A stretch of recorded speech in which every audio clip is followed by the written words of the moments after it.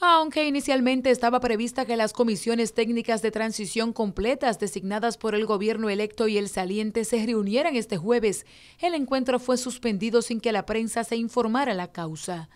En su lugar se reunieron a solas Lisandro Macarrulla y el ministro Gustavo Montalvo, coordinadores de ambas comisiones.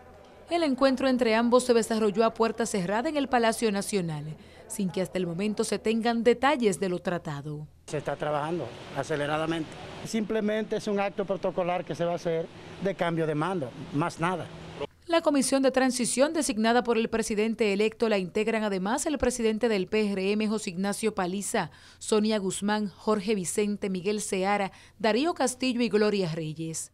Un día después de que el presidente electo Luis Abinader se reuniera con el presidente Medina para realizar lo que denominó un traspaso organizado que permita que el país continúe trabajando en la reapertura de la economía le tocó el turno a la vicepresidenta electa Raquel Peña, quien conversó por más de dos horas con la vicepresidenta actual Margarita Cedeño. Hemos hablado de todos los proyectos que ella ha venido eh, liderando y de todos los proyectos que están pendientes en carpeta y que nosotros, si Dios quiere, pues eh, daremos seguimiento. La verdad es que me siento muy satisfecha de que mi querida amiga Raquel pues, pueda entrar al mando ahora de esta vicepresidencia y seguir eh, contribuyendo con el crecimiento y con el desarrollo de la República Dominicana. Hoy podemos mostrar... Por parte del actual gobierno, además de Montalvo, integran la comisión de transición el ministro administrativo José Ramón Peralta, el ministro de Hacienda Donald Guerrero, el ministro de Economía Juan Ariel Jiménez, Zoraima Cuello, directora de Competitividad y Flavio Darío Espinal,